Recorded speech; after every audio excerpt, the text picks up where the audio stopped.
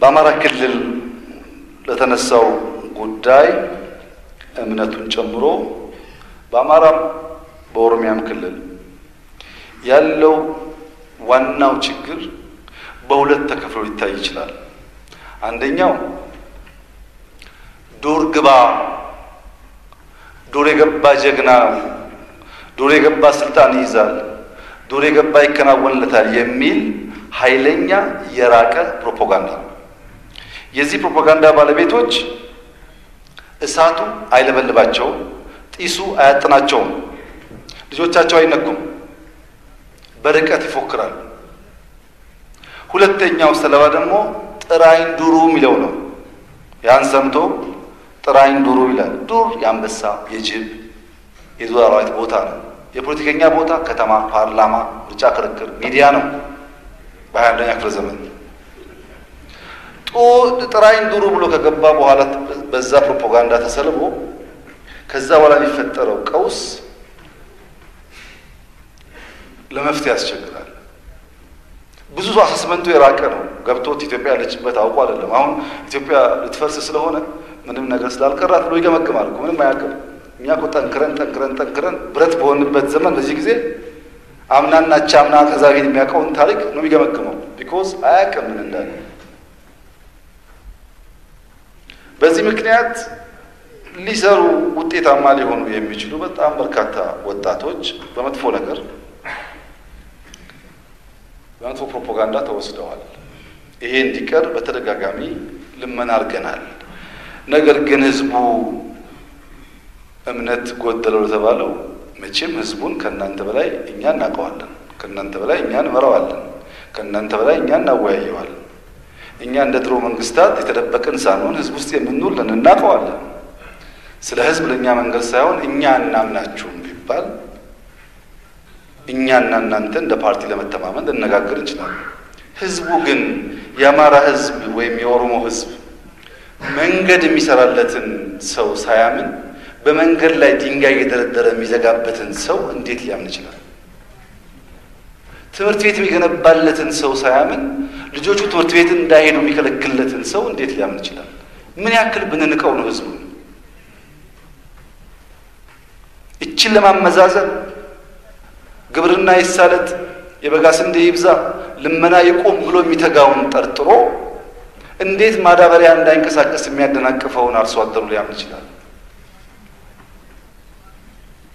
እንደዚህ አንታለል።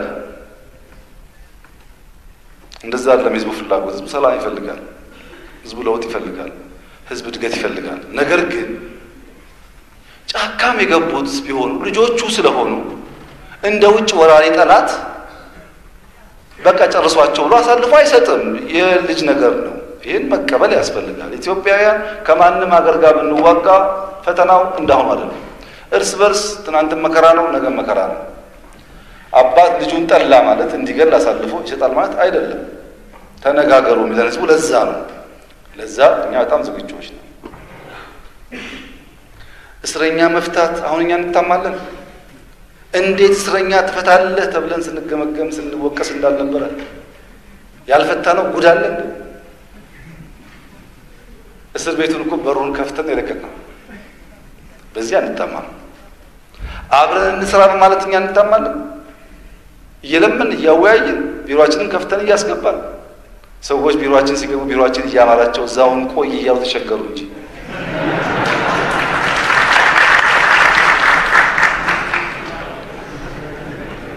ለድርድር ክፍት መሆን እኛ እንታማለን። ጦርነት እያለቀ እያለ ሰላም ይበልጣል፣ ድርድር ይሻላል። አልተወያየንም እንዴ? እኛ ለድርድር ክፍት በሰለጠነ መንገድ ለሚደረግ ንግግር ምንም ችግር የለብንም።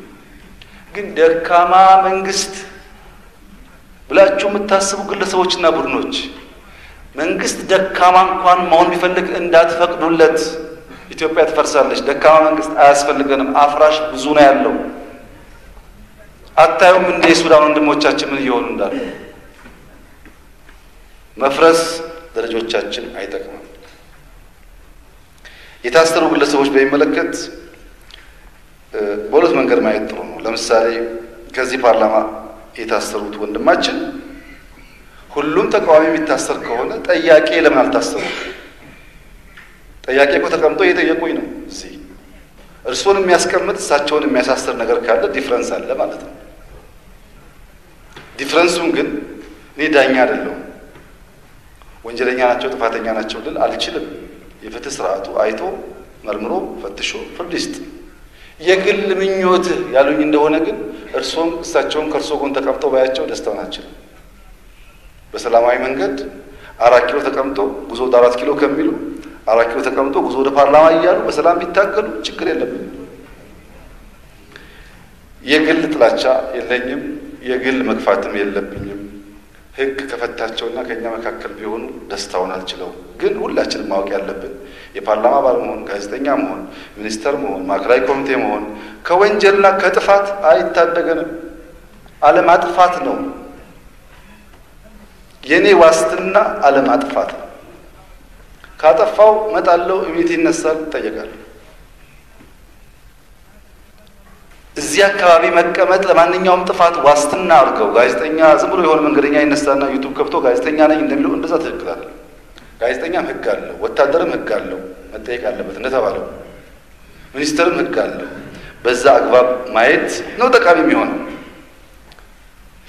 በዛ አግባብ ማየት ካልቻል ሳናስበው ስራችንን ቆርጠን እንጥልና በኋላ የማንጠግነው ነገር ይፈጠራል። በዚህ አግባብ ማየት ጥሩ ነው። አማራ ሰላም ካልሆነ፣ ኦሮሚያ ሰላም ካልሆነ፣ ትግራይ ሰላም ካልሆነ የመጀመሪያ ተጎጂ እኛ ነን። ኢትዮጵያ ማበልጸግ ስለምንፈልግ አይሳካልንም ማለት ነው። ሰላሙን አብዝተን እንወዳለን።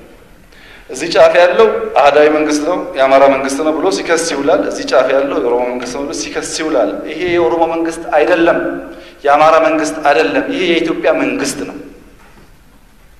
ሁሉ ኢትዮጵያዊ በእኩል የሚወድ በእኩል የሚያገለግል ነው። በአንድ ጽሁፎቻችን፣ በአንድ ስልጣናችን፣ በአንድ ንግግራችን፣ በአንድ ተግባራችን አድሎ አይገኝም። ሁላችንም በዛ መንፈስ እኩል እንሁን።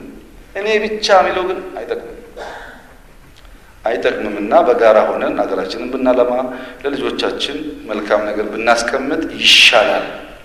በዚሁ መንፈስ መሄድ ነው። እምነት ስጋት ባይሆንብኝም እምነትም እኮ ቢሆን የመጀመሪያው እምነትን መፍጠሪያ መንገድ ንግግር ነው። ታዲያ በደብዳቤ አንተማመን፣ በሚዲያ ፕሮፓጋንዳ አንተማመን። ተገናኝተን አላምንህም፣ አምናሃለሁ፣ እንዴት ዋሽታል፣ ተሳስተሃል ብለን ተነጋግረን ጥፋት ካለም ይቅር ተባብለን ነው መተማመን የሚፈጠረው። እንነጋገር ያልነው እኮ መነጋገርን ሲለምኑ ኖረው አሁን ተነጋግሩ ስንል መነጋገር አያስፈልግም። ሌላው መታወቅ ያለበት ነገር በእንደዚህ አይነት ንግግርና ምክክር በምርጫ የተመረጠ መንግስት ብዙ የሚያገኘው ነገር የለም። እኛ እኮ ተመረጥን፣ በዲሞክራሲያዊ መንገድ ተመረጥን። ሁለት ዓመት አለን፣ ማንም አይነካብንም። ንግግርና ውይይት እድል የሚሰጠው በምርጫ ላላሸነፉና ሀሳቦች አሉን ህዝብ ሀሳባችንን ቢደምጥ ቢያደምጥ አሁን ቢፈጠር መድረክ ሲፈጠር ሀሳቦቻችን ሊገዙ ይደመጡ ይችላሉ። ሰዎች ተጠቃሚዎች ናቸው። እምቢ ባዮች ደግሞ እነሱ ናቸው። ይሄን በደንብ አስተውሎ መነጋገር ያስፈልጋል። እስካሁን ያየሁት ተስፋ ሰጪ ጅማሮ ነው። አዲስ አበባ ላይ ያለው አግዘን አብረን ብንሰራ ጥሩ ይመስለኛል። በእኛ በኩል ባለፈውም እንዳነሳሁት በ inclusive national dialogue ኡ intervene ማድረግ አንፈልግም። አምነን እንደ ማንኛውም ፓርቲ ተወያይተን ጠቃሚ ሀሳቦች ካሉ ወስደን ካላመን ተከራክረን ህዝብ ይዳኘን ለማለት ዝግጁዎች ነን። በህዝብ ዳኝነት የሚያምን ማንኛውም ሰው ከውይይት መሸሽ የለበትም። ህዝብ ዋጋ የለውም ካለ ግን ምንም ማድረግ አይቻልም።